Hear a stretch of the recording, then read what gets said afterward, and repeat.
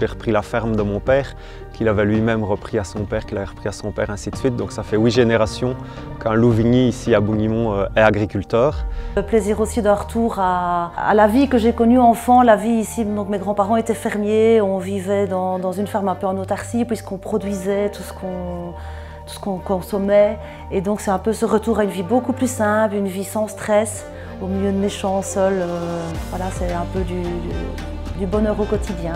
c'est vraiment ça que je recherchais. Un sentiment de liberté, surtout. On croit en un modèle agricole où, où, il y a plus de petites fermes euh, qui, euh, qui peuvent assurer la subsistance de, de, leurs voisins de manière tout à fait autonome et, et locale. Écoutez, je ne suis pas fatigué de faire de travailler. C'est ça. Fabriquer une casserole de confiture en pleine nuit, c'est vraiment un plaisir. C'est, c'est pas une charge. Moi, j'aime bien le travail, j'aime bien ce que je fais. je me lève à 6 heures tous les, tous les matins. Je pourrais commencer plus tard, mais j'aime bien de me lever tôt. Et alors, euh, je viens faire la traite. Je commence par ça, faire la traite.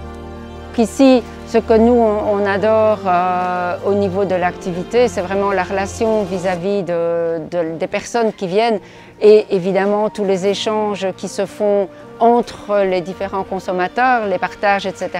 Aussi de pouvoir partager avec les gens donc, euh, ma passion, les amener à consommer local, voir ce qu'ils ont dans leur assiette.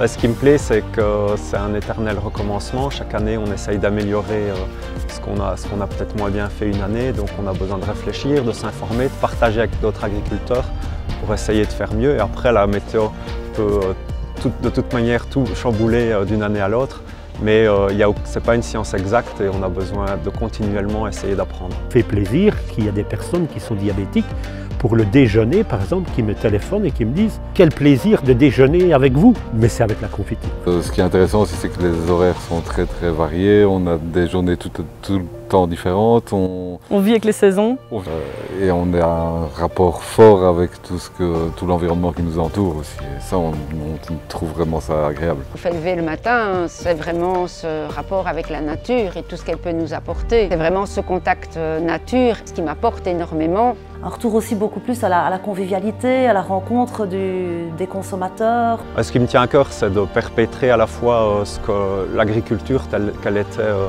anciennement. Donc par exemple ici, on, essaye d'être le plus autonome possible avec nos propres fourrages, avec des, céréales assez simples qu'on peut cultiver ici en Ardennes, comme nous le faisaient euh, nos grands-parents. Le consommateur qui vient nous voir, il sait ce qu'il a dans l'assiette, il peut découvrir les produits, voir comment on les cultive, comme que nous on ne met pas d'additifs, on ne met pas de conservateurs, euh, voilà, tout est sain, tout est local et c'est un petit peu aussi ce, ce message qu'on veut faire passer aux gens.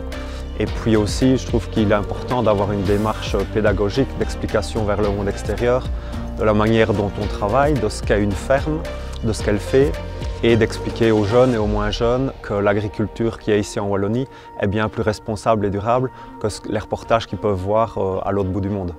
Et également le devoir de tout un chacun de réapporter à cette nature tout ce dont elle a besoin et de la respecter.